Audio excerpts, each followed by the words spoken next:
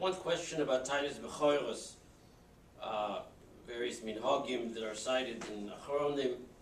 This person asks, may one make a siyum on one Masechta of Mishnayos for Tainis Bechoros?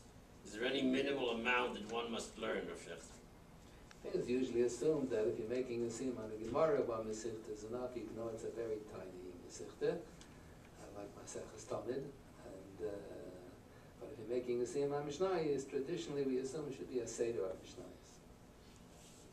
Okay, we're going to switch gears to uh, Inyanei Seder and Haggadah for the time that we have left.